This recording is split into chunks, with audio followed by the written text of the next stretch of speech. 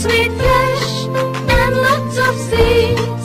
If you eat them, you will know it's all you need. So have a jack, jack, jack, jackfruit.